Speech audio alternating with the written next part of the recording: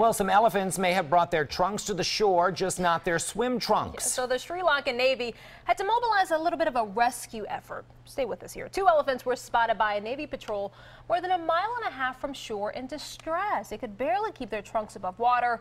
We're told they were swept out to sea by strong currents ah. after they were knocked down while wading in a lagoon. So glad they're okay. Those must have been really strong currents the size of mm-hmm. them.